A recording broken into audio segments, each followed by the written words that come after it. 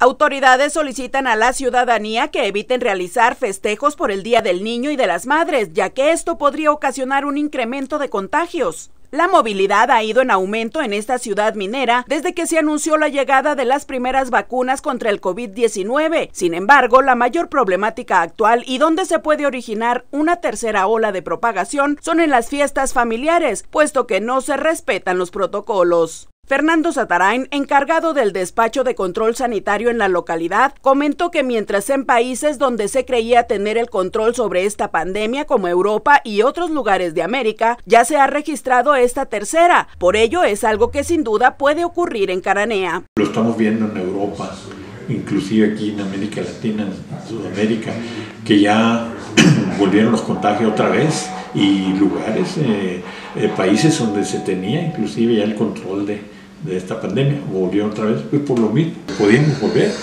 atrás un poco, se hablaba inclusive de la famosa tercera ola, ¿por qué? Pues tantas fiestas, tantas vacaciones, lo de Semana Santa, y aquí estamos en eso porque hubo algunos contagios Resaltó que con la responsabilidad de la comunidad se puede regresar al semáforo epidémico en verde. Se deben seguir los cuidados y las medidas que ya conocemos. La aplicación de la vacuna no significa que el virus se fue, sigue latente, así como la probabilidad de contagiarse. No hay que bajar la guardia, comentó Satarain. Informó para Entre Todos Telemax, Yasmín Islas.